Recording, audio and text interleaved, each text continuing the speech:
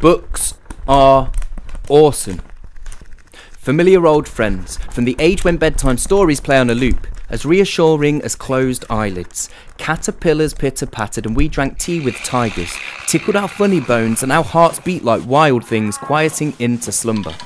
Somehow, they were all about hunger.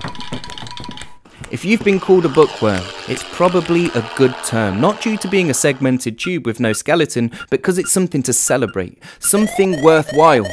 Devouring earth to power it up and make mud more fertile, something things can grow from. Good books are treasure. Something worth saying in a way worth saying. An author's best thoughts poured out with imagination, then refracted through language and the many moons of practice to produce books that make brains buzz and fill us with feeling the months, the years they take to make, and we can read one in an evening or two. Books are new views to add to our skull sized universe. A million tomes of brilliant thoughts, a growing dot to dot you can connect to make your own constellations. And when the patterns are overwhelming, the elaborating ideas are like neurons. They branch out till your head's on fast forward. You're shouting over your own thoughts and you can't take much more of it. So you read yourself calm. Because books are a meditation an anchor to the present.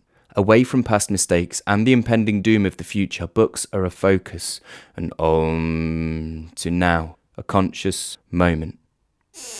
They are windows out of locked rooms, an escape from the everyday, building blocks for new worlds, adventure and entertainment, dragons, wizards, orcs, trolls, journeys through the forbidden, walls fought for a sort of control and all freely given. Go to your library. They are bridges, each hybrid, part reader, part writer giving the perspective of someone else's version, they're the closest we can probably get to being another person. A way to reflect on ourselves by seeing each other. Books are mirrors, making it clear we're all made in the same basic image. They can be hope, something to believe in. Frederick Douglass, Shakespeare and Mandela Cell, a kind of freedom. They're the first thing dictators do away with. Because books are answers, and books are new questions.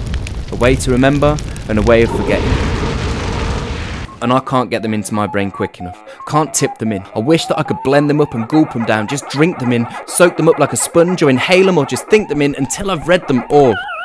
Because books are awesome. Be a bookworm. Books work. Best way I know to make things grow. To fertilise the dirt.